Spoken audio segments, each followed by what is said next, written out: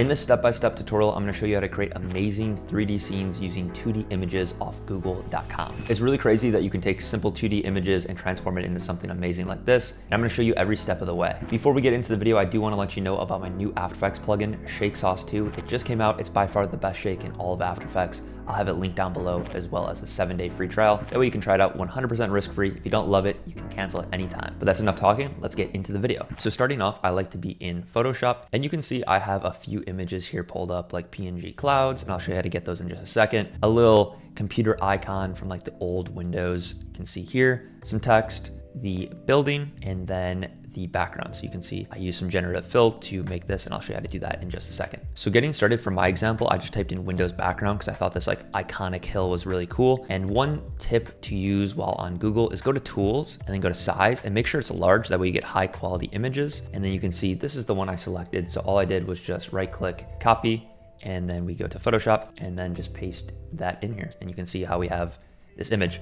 So as you can see, I split the background into two separate images here, the clouds and then the hill, just so there's that a little bit more of that 3D depth. And I wanna go ahead and show you how to do something like that really quickly. So using the lasso tool, and what I'm gonna do while selected on this overall layer is just click Control J, that's gonna duplicate it. And then on this top layer, I'm gonna take the lasso tool and just mask out around where we want it to kind of be deleted. So for example, I wanna expand this sky. So what I'm gonna do is click delete we can turn off all the other layers just so it makes sense for you. It's easy to see. And now you can see we have just the sky. And while it's selected with this transparent area, I'm just gonna click generate fill and then click generate. And then it should just fill the background with the sky and it will make it kind of like just like a, a, clean plate for us to have that 3D. So that's good enough. You can go through and select all these different options. It really doesn't matter too much. This one works for us. So what I'm gonna do is control click on both of these and then go to merge layers. That way it's one image. And let's go ahead and turn that off for now. And now I wanna separate this hill. That way there's when we have the 3D, there's a little bit of separation between the background. So if you want, you can use the pen tool. I'm gonna use the quick selection tool because our background's rather easy to select. And I'm just gonna use the quick selection tool because our background's rather simple to separate. And I'm just going to go ahead and get just the hill here and then click Control J. And then we can go ahead and delete that overall background layer. That way we have this hill. Let's drag that clean plate below it.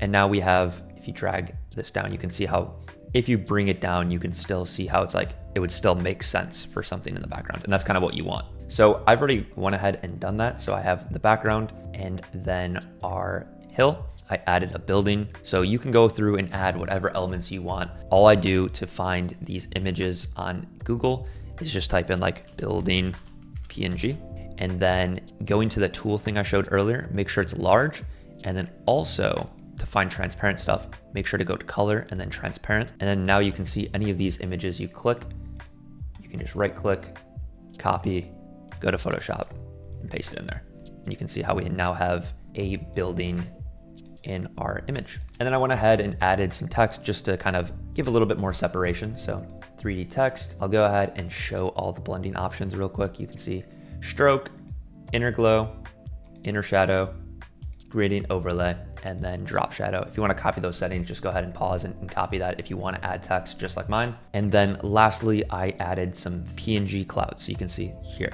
And then also this computer icon. I went ahead and just applied a simple drop shadow to a lot of these things. That way there's just a little bit separation. You can see if I toggle it on and off on the computer, just what it's doing. So now we have our basic image kind of laid out. What I wanna go through is just make it simple for us. Name our layers cloud and cloud one, our 3D text. Just make sure to name everything so it's super easy to read because when we bring it into After Effects, that's what we're gonna need. So I name the computer computer, can name this hill, building, and then sky. So now we have a very clear like understanding of what each layer is. And then what we're gonna do is go ahead up to here to file, save as copy, and then Photoshop file, and we can name this 3D tutorial. And in After Effects, you can see this is the scene that I created just playing around real quickly. And I'm gonna show you how to do something very, very similar. You can see how we took a simple 2D image and transformed it into this 3D kind of brought to life kind of deal. So then what you're gonna do is just open up that Photoshop file inside of After Effects and import it. It's gonna have this thing that pops up. Make sure to do layer options, editable layer styles, and then composition, retain layer styles. This one's really important and click OK. Then you're gonna see this composition that you can just double click on. And now you can see all of your layers are here, the cloud, cloud one, text, computer, hill, building, sky, and just make sure they're in order of like the proper way. If you designed it in Photoshop in the right way, like back to front, kind of like what you want to be furthest away from the camera to closest away closest to the camera, you will see that like, you know, obviously the sky isn't over everything else. So just make sure that's the case with yours. And then I'll have this insanely helpful script. If you like doing these 3D things, this one's a no brainer. I'll have a link down below. I got you guys a $5 off discount code if you use code Bryan. Go ahead and click the link and download it. You go to file, scripts, and then open up 3Dify Pro. And you can see all we have to do to make this into an insanely useful 3D scene is click create 3D camera and layers. And you can see it does mess up stuff initially, but really quickly we can make an amazing, amazing 3D scene. So I'm just gonna go ahead and make our composition like five seconds long and then go ahead and click expand background and you can see it has the background all expanded and we just need to go ahead and scale out a few things now. So what I'm gonna do is go to the hill layer and then go to transform and just scale this up so it kind of takes up down here it's kind of just down here. And then you can play around with the Z position. So you can zoom in and out like this. And then also the room size is basically how far away the objects are gonna be from each other.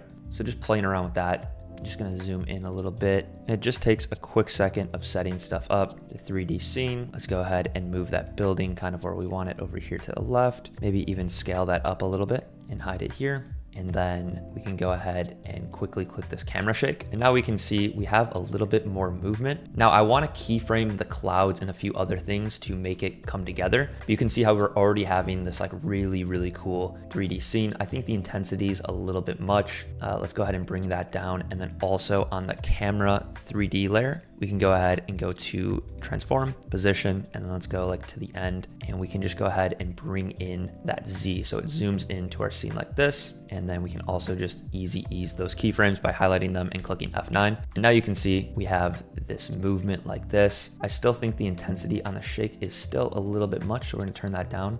But now you can see how everything's starting to come together. I think the clouds look really cool, but what we need to do is actually just animate them.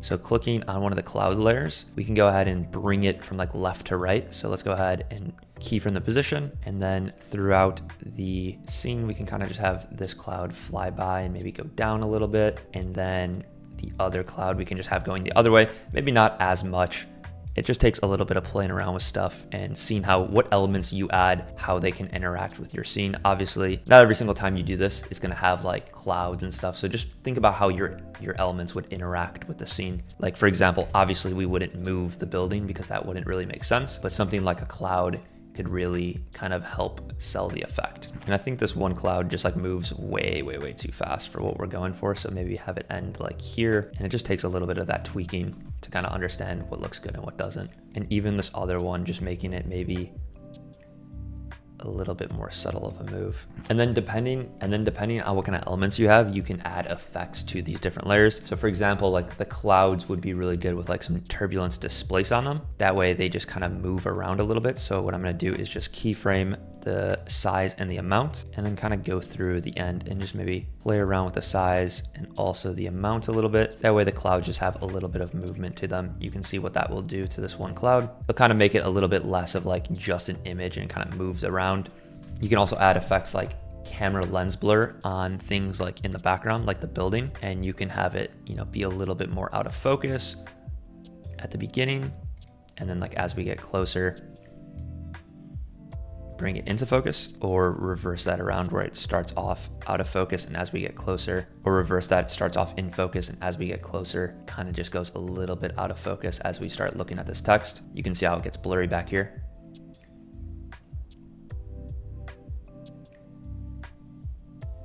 And then to sell all the motion together, I'm gonna create an adjustment layer above everything and add an effect like RSM Beyond. I think that's just gonna kind of blur a lot of the motion together, make it feel a little bit more interactive. And then as you can see with the RSMB, the camera shake, and the motion, you can see how our effect kind of comes together and now has like a 3D kind of scene. This is really good for like visualizers or animations in a YouTube video. And obviously you can do all of this without that script that I showed, but I just wanted to make a video on it because it saves so much time creating all the Z separation, the shake, all that stuff that I thought it'd be really helpful to let you know about that really, really helpful tool. Like I said, I'll have it linked down below. It's called 3Dify Pro. And if you use code Bryan at checkout, you'll get $5 off your order. That way you can go ahead and create amazing 3D scenes just like this.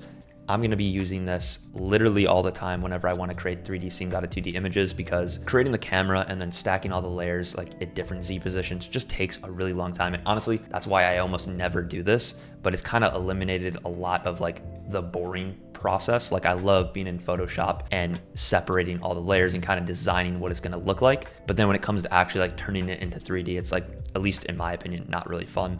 And it kind of just makes the creating process just a little bit more fun. But that's pretty much all I got for you guys in this one. If you made it all the way to the end, I really do appreciate you. If you're not already subscribed, be sure to do that. That's all I got for you guys in this one. Peace.